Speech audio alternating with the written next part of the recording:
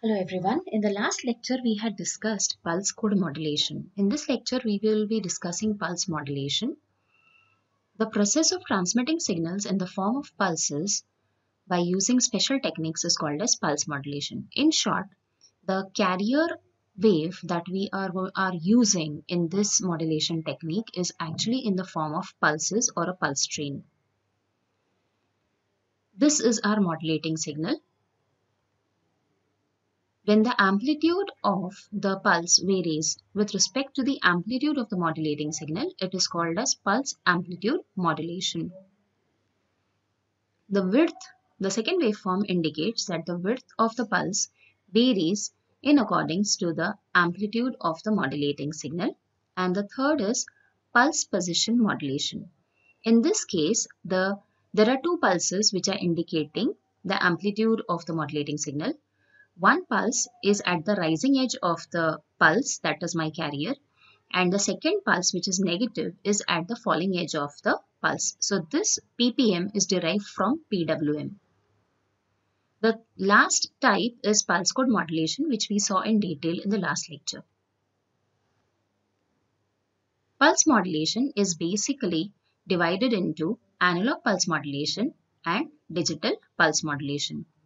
Analog pulse modulation is further divided into pulse amplitude modulation that is PAM, pulse width modulation which is called as PWM, pulse position modulation which is called as PPM. Digital pulse modulation is nothing but pulse code modulation, delta modulation, pulse amplitude modulation, the signal is sampled at regular intervals such that each sample is proportional to the amplitude of the signal at that sampling instant. This technique itself is called as sampling. For minimum distortion, usually we take the sampling rate more than twice the signal frequency which is also called as the Nyquist criteria. Now we go into the detail of pulse amplitude modulation. If you see the waveform very carefully, I have a PAM signal that is pulse amplitude modulated signal where the amplitude of the pulses are varying in accordance to the amplitude of my modulating signal. The modulating signal in this figure is indicated or written as M of t, whereas the PAM signal is denoted as S of t. Please see very carefully. Here the duration of the pulse is capital T, whereas the rate at which the signal has been sampled is Ts. That is the sampling interval is T suffix S. Now since we have denoted our PAM signal as S of T and the top of the pulse is flat, that's why this is also called as a flat top signal. Now S of t is nothing but summation n equal to minus infinity to infinity m of nts h of t minus nts. It means that I have my input signal as my modulating signal, my impulse response as h of t and the output of it I get it as summation n equal to minus infinity to infinity m of nts h of t minus nts.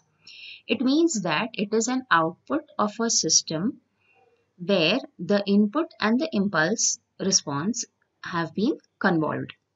So it's as good as y of t is equal to x of t convolving with h of t. Now the uh, if I have to talk about an ideal sampling, if m of t is instantaneously sampled, then it is m delta of t which we had seen in the last lecture, m delta of t is equal to summation n equal to minus infinity to infinity m of nts delta of t minus nts, where my modulating signal was multiplied with the comb function. So m delta of t is nothing but ideal sampling equation which is equal to summation n equal to minus infinity to infinity m of nts delta of t minus nts and hence m delta of t is convolving with h of t so that we can get the output of the system. So m delta of t convolving with h of t gives me integral minus infinity to infinity m delta of tau h of t minus tau d tau. this is nothing but the expression of convolution integral. So this comes out to be as integral minus infinity to infinity summation n equal to minus infinity to infinity m of nts delta of tau minus nts h of t minus tau d tau.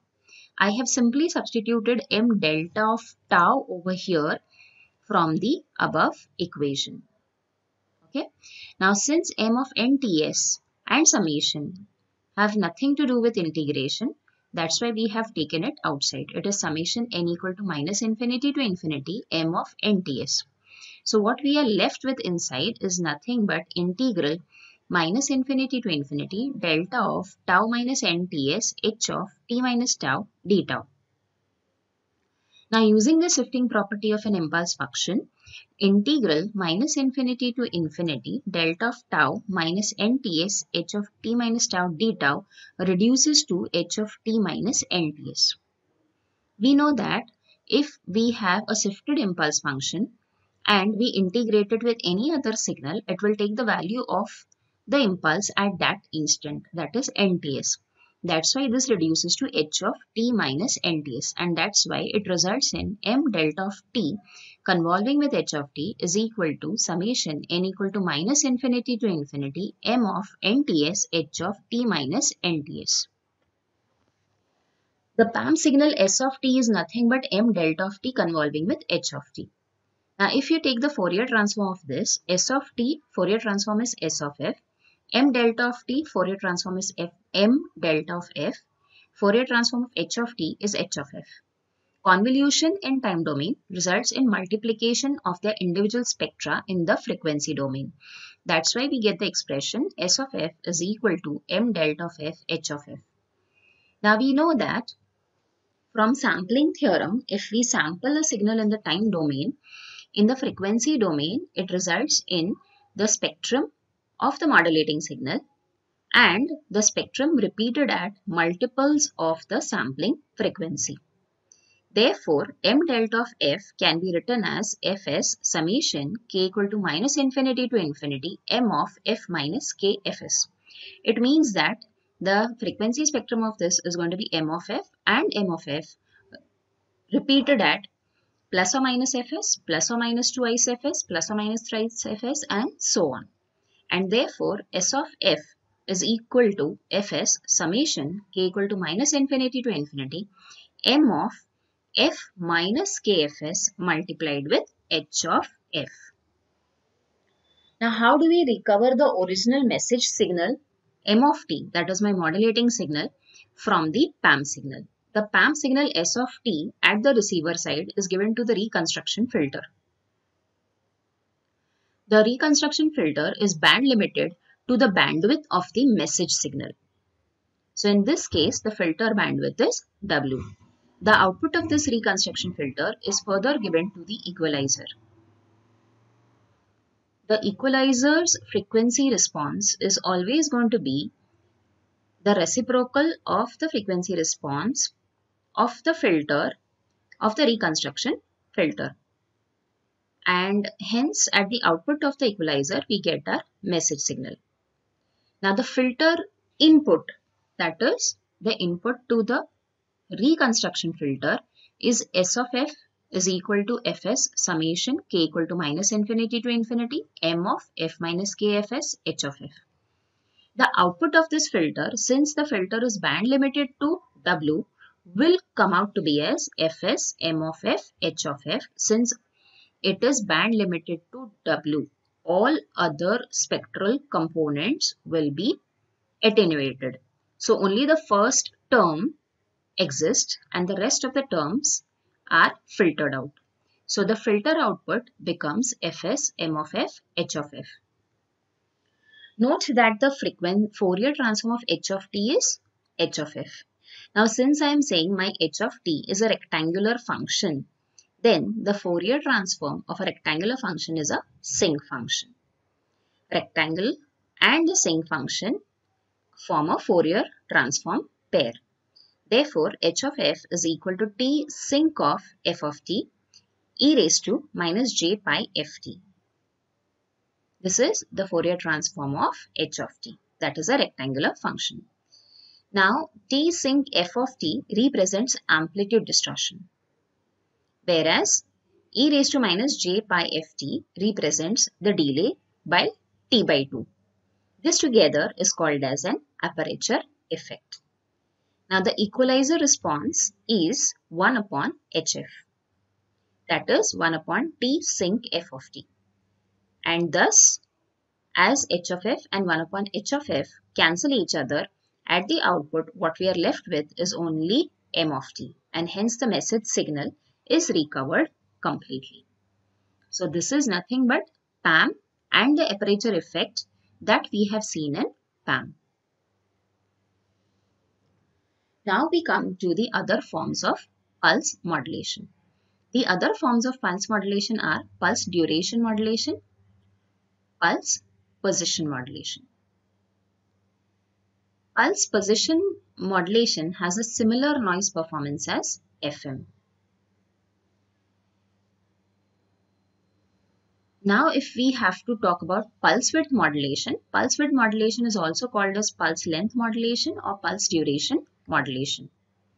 In this type, the amplitude of the pulse is maintained constant, but the duration or the length or the width of each pulse is varied in accordance with the instantaneous value of the modulating signal the negative side of the signal is brought to the positive side by adding a fixed DC voltage. This is my modulating signal or analog signal and this is my width modulated pulses. Next we come to pulse position modulation. In this type of modulation, the sampled waveform has a fixed amplitude and a fixed width whereas the position of each pulse is varied as per the instantaneous value of the analog signal.